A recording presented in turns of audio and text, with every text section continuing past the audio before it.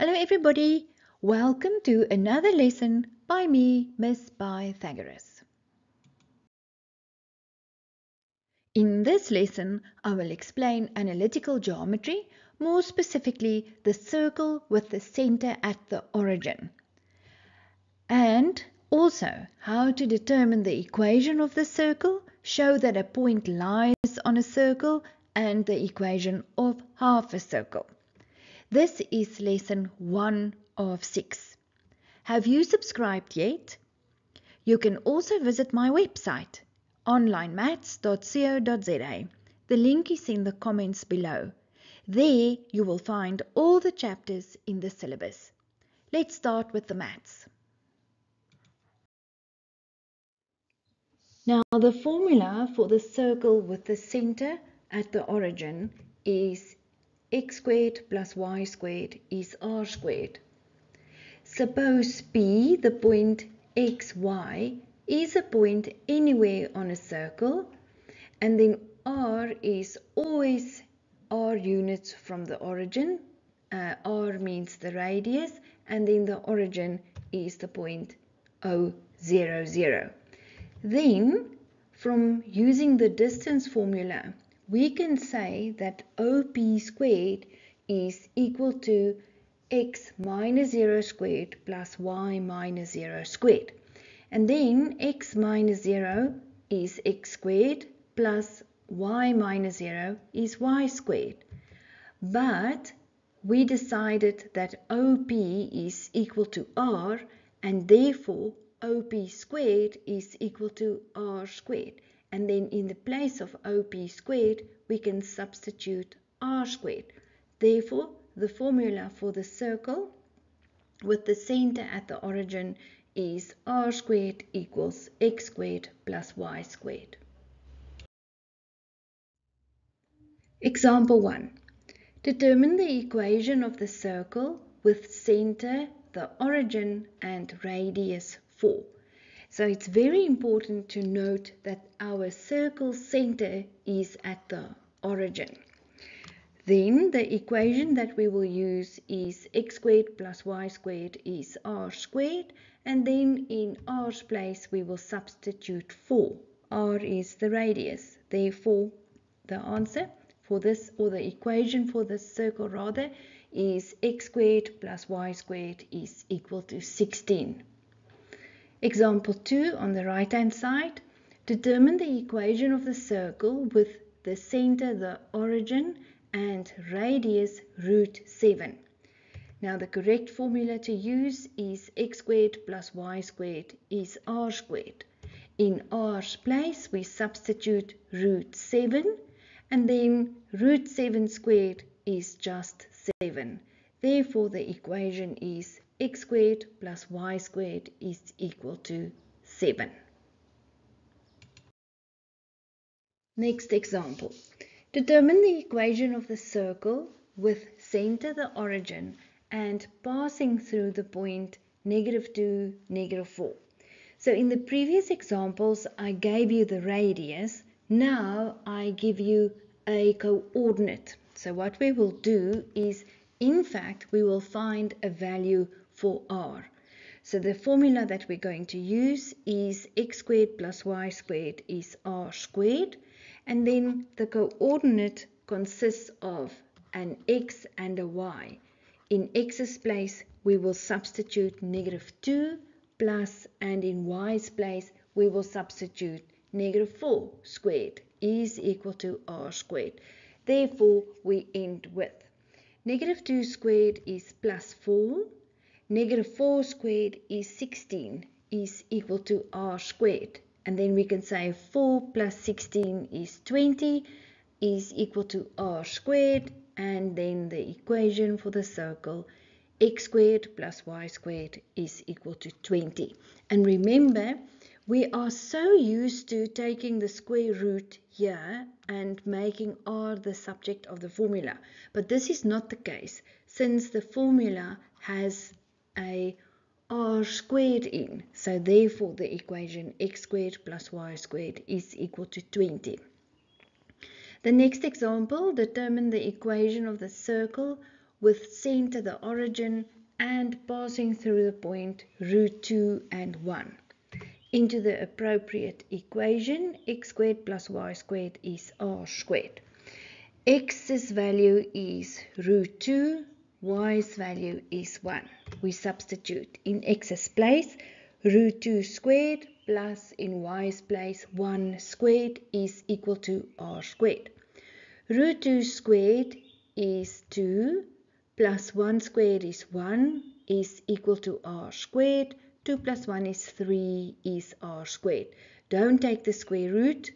We leave r squared and therefore the equation is x squared plus y squared is equal to 3.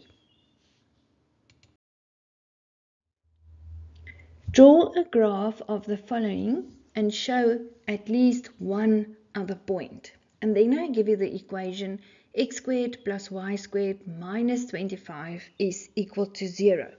So what we will do is we will get this equation in standard form and the 25 will walk across.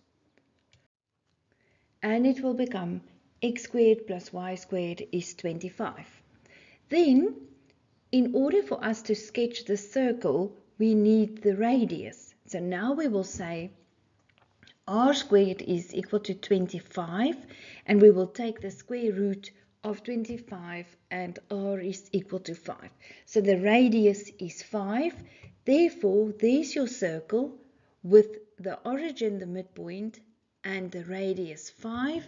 And there's a point on your circle, that's the x-intercept, and it's the point 5 and 0. Example 2 on the right hand side, draw a graph of the following and show at least one point. There's your equation x squared plus y squared is equal to 8. So when we want to sketch the circle, we need the radius. And we know that r squared is equal to 8. Then we will take the square root to find r, and then r is root 8. And you don't have to give me the answer as a decimal. Root 8 is fine. Therefore, there's your circle with the midpoint, the origin, the radius root 8, and there's a point on your circle. That's the y-intercept, it's the point 0 and root 8.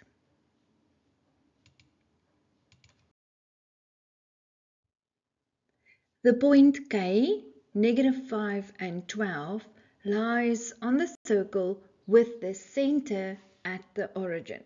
Number 1. Determine the equation of the circle. So we will start with the formula x squared plus y squared is equal to r squared. And then there's the only point we have, and it's the point negative 5 and 12, consisting of a x and a y. So we will use that point to find a value for r squared. In x's place, we substitute negative 5 squared plus in y's place 12 squared equals r squared. That's what we're looking for. Negative 5 squared is 25 plus 12 squared is 144. 25 plus 144 is 169 is equal to r squared. And don't take the square root here since the formula contains r squared. Therefore, the equation for the circle is x squared plus y squared is 169. Question 2 on the right hand side says, show that the point L, 0 minus 13, lies on the circle. Now remember, when you want to show that a point lies on a circle, you will in the end use the formula and show me that the left hand side is equal to the right hand side. On the left hand side you find x squared plus y squared and on the right hand side you find 169. So now you will take the point L that consists of x is equal to 0 and y is equal to 13. We will substitute into the left hand side. 0 squared plus negative 13 squared equals 0 squared is nothing plus Negative 13 squared is 169 and then your left hand side is 169 which is also the right hand side. Therefore, the left-hand side is equal to the right-hand side, and then we can say point L lies on the circle. Let's do another example. Point minus 2b lies on the circle x squared plus y squared is equal to 13. Determine the values of b. So now we have the equation and we have this one point, negative 2 and b. And remember, a point consists of an x and a y coordinate. Therefore, in x's place, we substitute negative 2 squared, and then in y's place, we substitute b squared is equal to 13. And then we're going to solve b. Negative 2 squared is 4, plus b squared is 13. 4 walks across, it becomes negative, and then we say b squared is equal to 9. And then we don't want b squared, we want b. Therefore, we will take the square root of 9. And remember, when you add square root there, you have to add plus or minus. Therefore, b's value is plus or minus 3. I also want to show you that you can get half a circle. So when I give you the equation for the circle x squared plus y squared is equal to 16 and I'm going to make y the subject of the formula therefore y squared is 16 minus x squared and I take the square root to make y the subject of the formula I end with y is plus or minus root 16 minus x squared then when you take the positive one, then this is what the circle will look like. It's half a circle and the radius here will be 4. And when you take y is equal to minus root 16 minus x squared, that is your circle, your half circle with a radius of 4. We can also get half a circle with x the subject of the formula. So when I give you the equation x squared plus y squared is 25, we can say x squared is 25 minus y squared. Then, um, to make x the subject of the formula, we take the square root plus or minus square root of 25 minus y squared. Then the circle, the half circle x is equal to plus root 25 minus y squared. That is the circle with the radius 5. And x is minus root 25 minus y squared. That is your half circle with the radius 5. Now you know everything there is to know about a circle with the center at the origin.